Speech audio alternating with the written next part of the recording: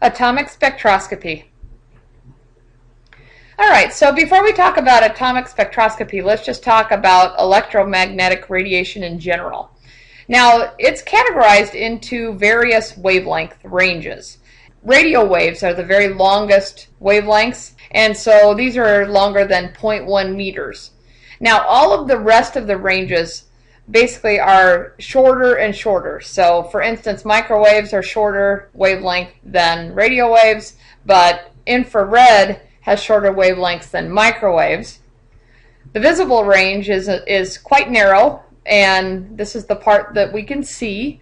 And so those wavelengths are shorter than infrared, but not as short as ultraviolet rays. X-rays are even shorter still, and then finally gamma rays are the very shortest. So here's a figure showing that. So we can see radio waves have the longest wavelengths, okay? And microwaves, it they start getting shorter. Infrared, shorter still. Visible light, shorter, and then finally up to our gamma rays, which have the very, very shortest wavelength.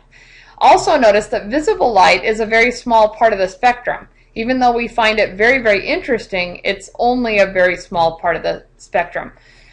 So infrared, for instance, and ultraviolet, our eyes can't perceive that. So we can perceive visible light.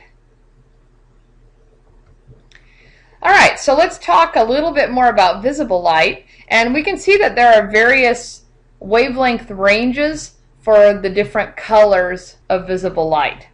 So violet has the shortest wavelengths out of the ones that we can see, and the range is between 380 and 450 nanometers. Okay, so that's down here. And blue, a little bit longer, all right. Green, longer than that. Yellow, longer than that. Orange, and then finally red has the longest wavelengths, and then we start going into the infrared part of the spectrum. Now remember, the energy of a photon is related to its wavelength. So it's inversely related. So as the wavelengths get longer, the energy of the photon decreases. Okay? Now with frequencies, as the frequency increases, the energy of the photon increases. So in the visible spectrum, red photons are the least energetic. They have the longest wavelengths and violet photons are the most energetic. So they have the shortest wavelengths out of the ones that we can see. Okay, so let's look at white light after we pass it through a slit and then bend it with a prism. So if we just turn on a light bulb, white light, we're going to narrow down a little beam and it's going to come over here and pass through this prism and as it's bent, we're going to see all of the colors, all the color components in that white light. And so we're going to observe all colors in the visible spectrum. Now, atomic spectroscopy involves replacing that white light with evacuated tubes containing atoms of various elements. And so in this case, we have replaced our white light with an evacuated tube filled with sodium atoms. And so these replace the white light bulb. Now, these sodium atoms are just hanging out in there, and we're going to zap them, okay?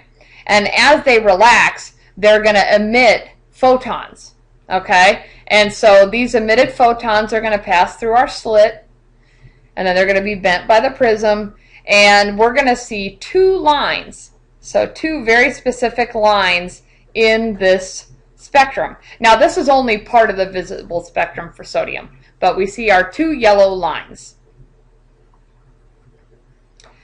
And so that is called a line spectrum. And so the full visible line spectrum for sodium is here. Okay, so it's hard to see that these are two separate lines, but these are the two yellow lines that we just saw previously. But this is the entire line spectrum for sodium. So what does that mean? Now, when you excite atoms, as they relax, they're going to ra radiate energy. So they're going to give off photons. Now, this energy is not over a continuous range. So the white light bulb gives us a continuous range of colors. When excited atoms emit energy, it's only at discrete quantized energies. So only at certain wavelengths. Okay?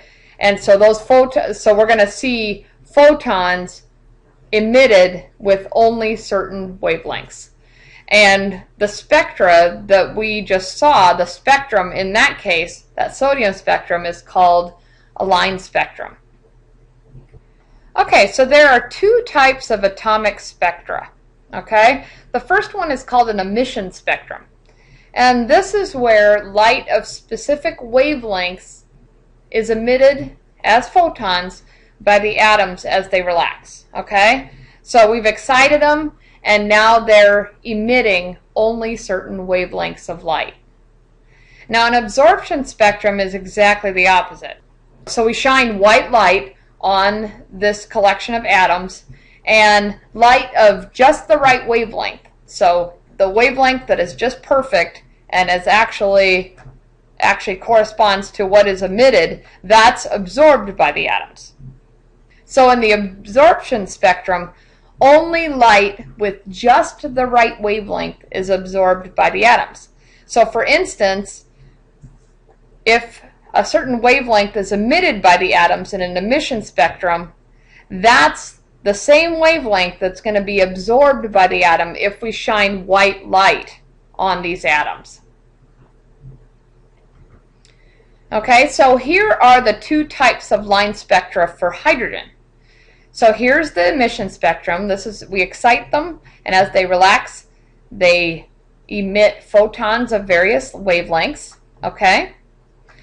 Now here's the opposite situation where we shine white light on our hydrogen atoms and they absorb only those wavelengths that were emitted. Okay, so this is the opposite. You can see they're mirror images of each other. Okay, so these wavelengths were absorbed by the hydrogen atom. Everything else passes through. Okay, so here are a few more line spectra as examples.